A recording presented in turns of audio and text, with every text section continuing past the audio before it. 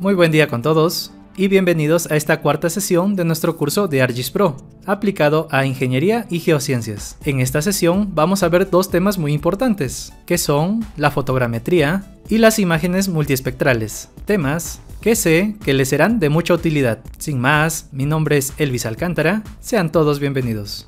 Para proseguir desde nuestra sesión anterior, vamos a ir a Proyecto, guardar proyecto como, busquen en dónde están creando, en mi caso en escritorio, nueva carpeta, S4. Voy a seleccionarlo, abrir y proyecto S4. Guardar.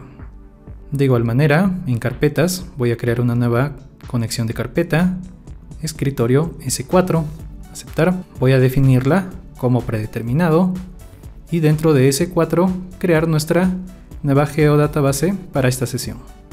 Despliego, otro clic Cambio de nombre a S4. Ahora en base de datos definir S4 como predeterminado. Listo.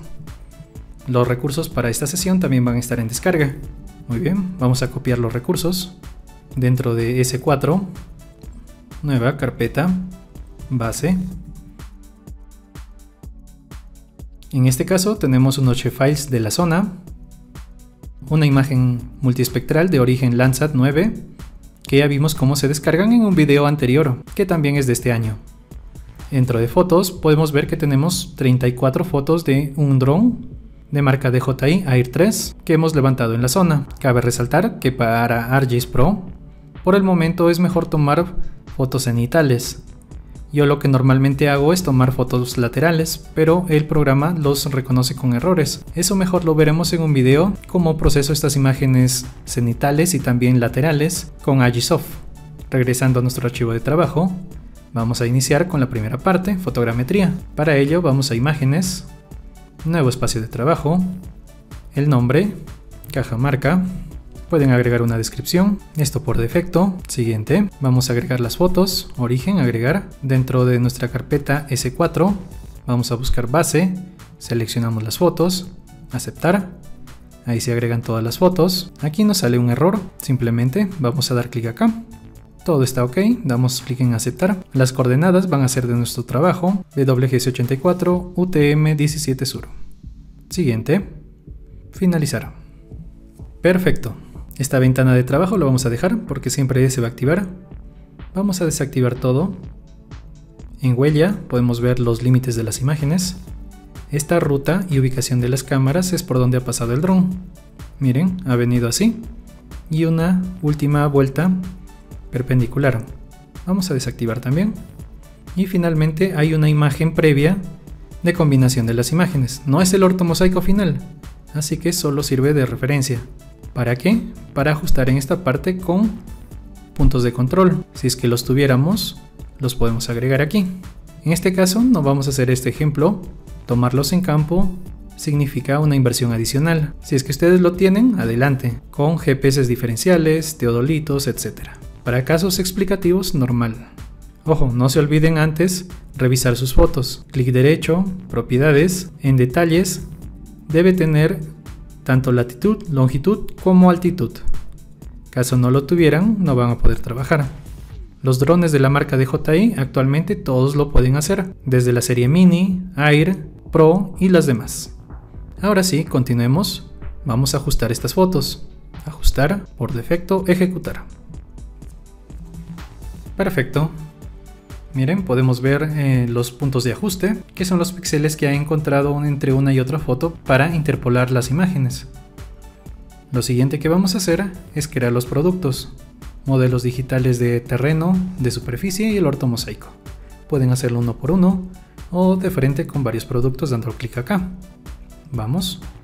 Primero, vamos a crear todos estos productos 2D.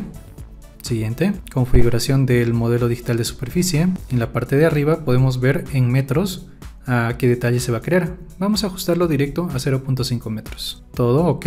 Siguiente. Ahora el modelo digital de terreno también vamos a ajustarlo en metros a 0.5. En la parte final, fuente de puntos. Vamos a desplegar y también opciones avanzadas. Aquí sí hay que tener mucho cuidado porque va a depender el resultado de estos datos. Por ejemplo, el tamaño máximo de objetos para el filtro, yo lo voy a colocar a 100. para que pueda excluir objetos tan grandes como esta casa de acá. Diferencia máxima omega phi de en grados, está bien 8. Diferencia máxima de GSD 2. Imágenes pares 4. Ángulo mínimo de intersección en grados 5 está bien, pero el ángulo máximo de intersección sí hay que variarlo. Hay que ponerlo simplemente 15 grados para que se excluyan esos puntos que son muy extravagantes uno con respecto al otro. Por ejemplo, que pueden ser paredes, árboles, etc. Superposición mínima del área, vamos a reducirlo también a 15%. Estos datos lo podemos variar y comprobar uno con otro los resultados. ¿Ok? Siguiente, siguiente, siguiente, siguiente. Todo está bien por defecto. Y finalmente el ortomosaico en metros, vamos a redondearlo a 0.1. Ejecutar. Finalizar. Ahora este procedimiento va a demorar de acuerdo a la capacidad de su máquina y también al número de imágenes que estén procesando, obviamente. Perfecto, ha culminado el proceso, puedo cerrar. Aquí están los tres productos. En este caso voy a seleccionar los tres, copiar en el mapa, clic derecho, pegar, listo. Voy a minimizarlos y ubicar la zona en la parte superior. Activamos. Como pueden ver, solo se ha levantado la fotogrametría de esta parte. Puedo desactivar los MD y comparar, por ejemplo, el ortomosaico con la imagen de Google Earth. Como pueden ver, es un detalle aceptable para casos de investigación. Les reitero, si es que tienen puntos de control levantados con GPS diferencial, teodolito, etc., los pueden agregar. Por el momento ya estaría bien. Miren, vamos a comparar el DTM, que es el modelo digital del terreno, con el DMS, que es el modelo digital de la superficie. ¿Cuál es la diferencia? que la superficie le toma todas las unidades que se encuentren, casas, autos, árboles, etc. Y el DTM ha filtrado esos objetos sobresalientes para darnos una mejor imagen del terreno puro. Miren, vamos a compararlos. Clic derecho, agregar gráfico, perfil de superficie. Vamos a utilizar varias. En este caso el DTM, también el DMS y, por qué no, el MD a los pulsar de la sesión anterior con una línea. Vamos a crear más o menos, vamos a desactivar. Vamos a crear más o menos un perfil que inicie de acá y siga por estas partes que hay casas y también árboles. Por ahí, doble clic, listo. Miren, ahora podemos comparar el MD a los Pulsar, que es el verde. Como pueden ver, se ubica en la parte de abajo. Me parece que es por la diferencia de alturas elipsoidales y topográficas entre uno y otro dato. Mientras que en la parte superior se puede apreciar los productos de la fotogrametría. Vamos a acercarnos acá. Ahí se puede ver cómo está sobresaliendo un poco el modelo digital de superficie, que sería este de acá, con respecto al modelo digital del terreno, que sería este de acá. Perfecto. Vamos a cerrar. Vamos a procesar un poco estas imágenes. En geoprocesamientos vamos a crear una sombra, sombreado, a partir del DMS. Lo vamos a guardar en nuestra geodatabase, sombreado, modelo digital de superficie, la luz, lo vamos a crear a 60 grados. Luego ya van a ver por qué. Ejecutar. Listo, nos acercamos, ahí estaría. hay algunos pequeños errores. Vamos a mejorarla aquí a cúbico para que se vea mejor. Perfecto. Ahora lo que vamos a hacer es otro sombreado a 180 grados, ejecutar y finalmente un sombreado 3 a 300, ejecutar. Listo. Como pueden ver, tenemos tres sombreados de tres distintas posiciones del sol. Nos va a servir en este momento para poder crear una primera combinación de bandas. En geoprocesamiento vamos a describir bandas, bandas compuestas, los rasters van a ser estos tres. Con el Shift Control lo ubicamos acá. DMS, un sombreado 1, 2, 3 raster de salida. Dentro de nuestra geodatabase, sombras en plural y ejecutar. Perfecto.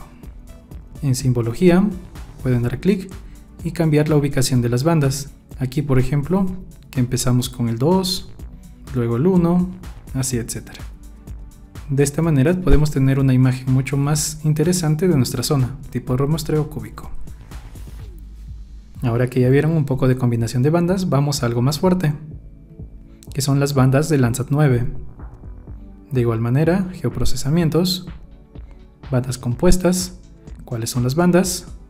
Ubicámonos, base, imagen, ahí están todas las bandas, 11 bandas en este caso. Agregamos un raster de salida, dentro de nuestra área de trabajo, Geodatabase S4 y Landsat 9.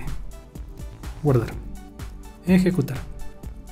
Perfecto, ya tenemos una banda compuesta. Para poder ver el color verdadero, vamos a simbología y ordenamos las bandas. Rojo es 4, verde es 3 y azul es 1. Ese es el color verdadero.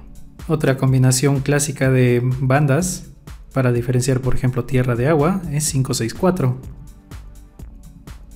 5, 6, 4. Ahí en ese caso sobresalen los cuerpos de agua, por ejemplo las lagunas. También, por ejemplo, vegetación saludable, 562.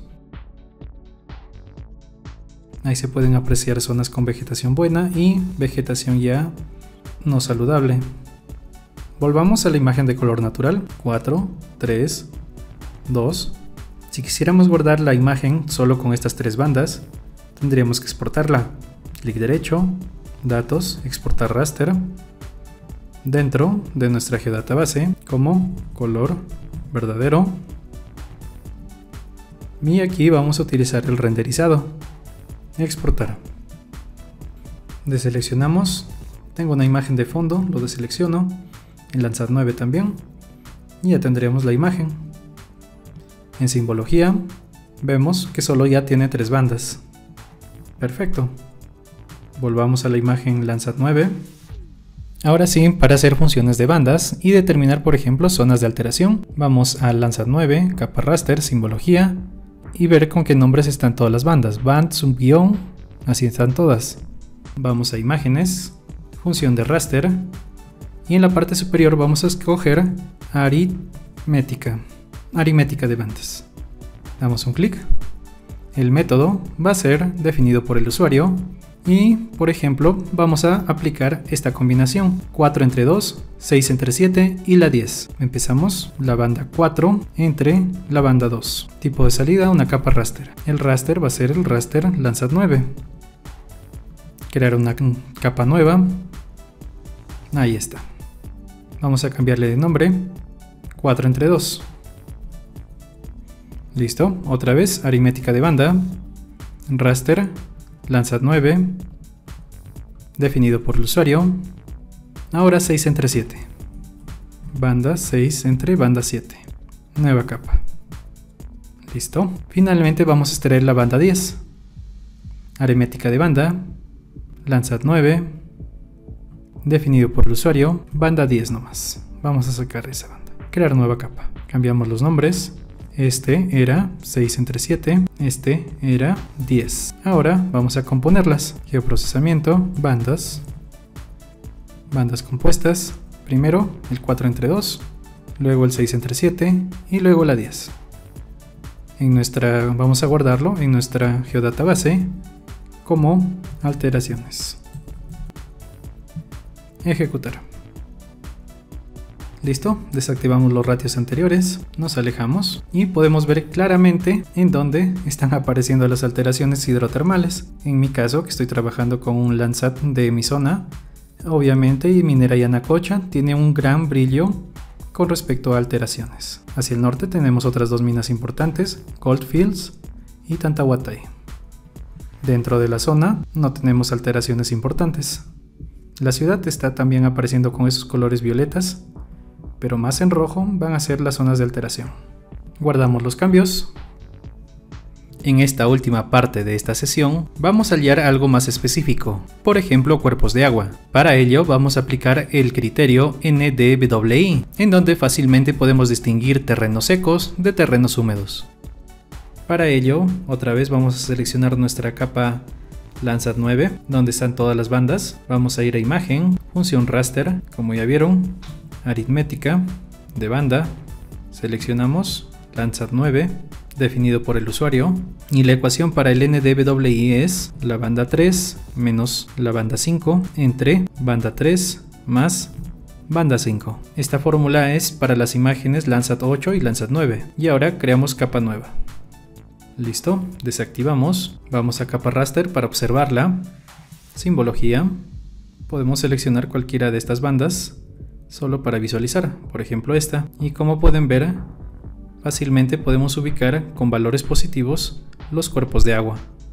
Recordemos que esta es una banda de paso. Para realizar cálculos más profundos necesitamos volverla en una capa editable. Para ello vamos a exportarla. Clic derecho, datos, exportar a raster. Vamos a buscar donde estamos guardando, en mi caso en el escritorio. Imagen NDWI. Guardar. Las coordenadas de salida voy a ubicarlos con los de la zona. Finalmente exportar. Perfecto, la imagen de paso ya la podemos quitar. Ahora sí, vamos a reclasificarla. Para ello, un geoprocesamiento, reclasificar. Ingresamos la imagen. Ahora vamos a clasificar con cuatro valores. Valores superiores de menos 1, 0.3, luego a 0, luego a 0.2 y por defecto lo dejamos el valor superior. Vemos el histograma, así se va a dividir. Aceptar. Y ahora los valores finales se van a transformar en 1, 2, 3, 4. ¿Dónde lo vamos a guardar? Imagen NDWI2. Guardar. Ejecutar. Perfecto. Finalmente vamos a convertirlo en polígonos. Para ello otro geoprocesamiento a polígono. De raster a polígono. Raster de entrada. Esta capa reciente. Datos de salida. Nuestra geodatabase. NDWI3 guardar, ejecutar. Desactivamos la anterior. Ahora vamos a darle una simbología, valores únicos. Por grid code, los valores más altos serán el 3 y el 4. Solo visualmente voy a desactivar los anteriores.